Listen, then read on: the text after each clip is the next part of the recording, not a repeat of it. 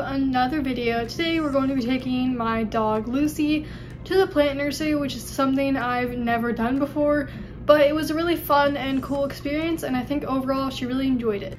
There was rain in the forecast, so we put this little coat on her, but it actually didn't end up raining, it was just a little cold, but the coat still kept her warm and looked really cute. Anyway, I did vlog a bit while we were there, so let's get into it. Here's Lucy looking all cute in her coat before we left. She's just absolutely adorable.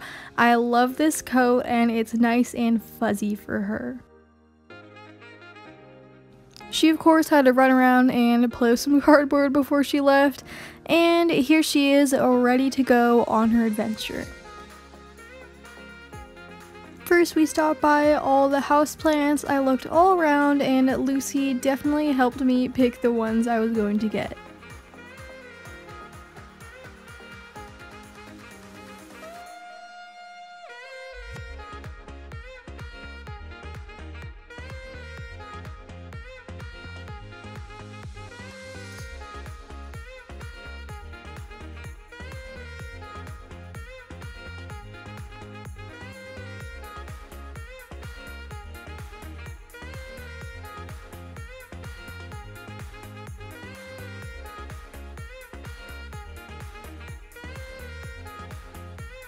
I ended up picking up this piece of cholla wood to put in my aquarium because I think it's really cool.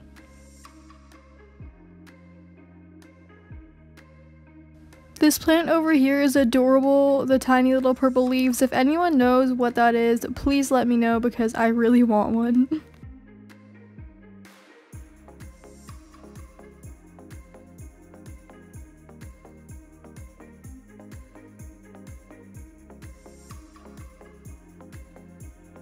We walked around some more as it's a very big property. This was very good for Lucy because she got a ton of exercise from all the walkies.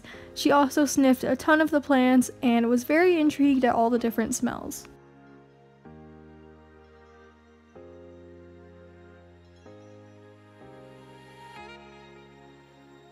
As you can see, it's just absolutely beautiful and there's a ton of plants here. This is the Syngonium I got. I thought it was absolutely beautiful and it just really stood out to me.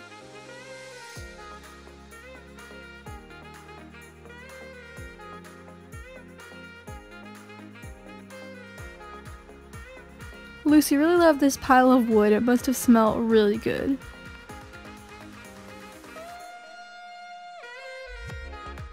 Here's the piece of cholla wood I got and it's time to put it in the aquarium. I was just gonna put it in there, but then I remembered wood floats, so I had to anchor it down with a rock. My original plan was to tie it to the rock, which actually didn't work very well because the rock didn't stay attached, so I super glued it, and that worked super well. It stayed attached, and it looks really nice in the aquarium.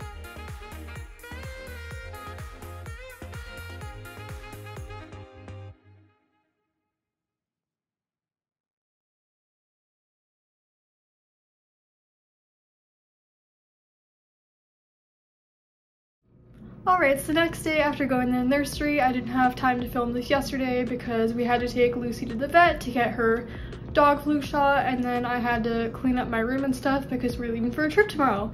But anyway, I'm gonna go ahead and show you guys what I got yesterday. The first thing is this little syngonium. I'm pretty sure it's some kind of syngonium. It was with all the other syngoniums, but the leaf shape is very unique. I really like it. It looks pretty cool.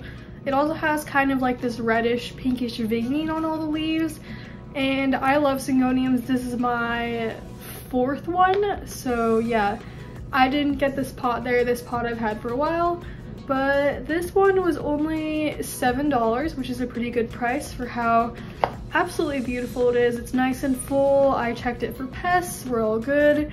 So yeah, I just really like it and I think it's pretty cool looking.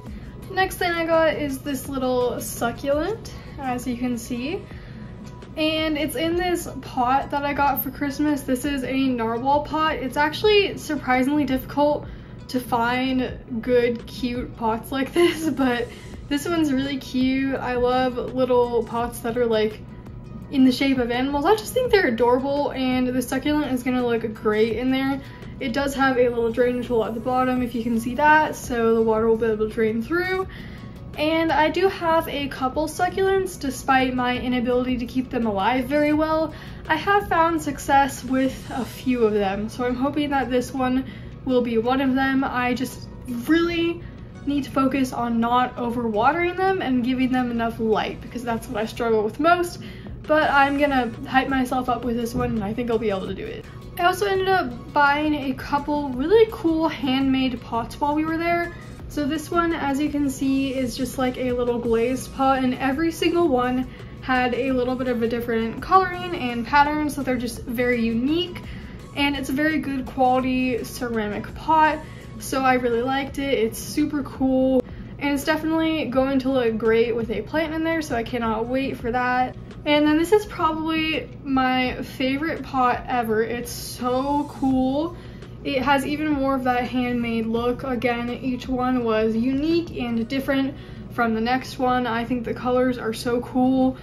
It just looks amazing and very natural looking while at the same time very artistic. So I really like it and this is going to look amazing on one of the shelves. So that's it for the video. I hope you enjoyed coming along to the plant nursery. I know I definitely enjoyed vlogging and something I would like to do again in the future. I'm actually going back to a different plant nursery after we get back from our trip because I'm kind of obsessed and obviously these shelves need more filling. anyway, I'll see you in the next one. Bye!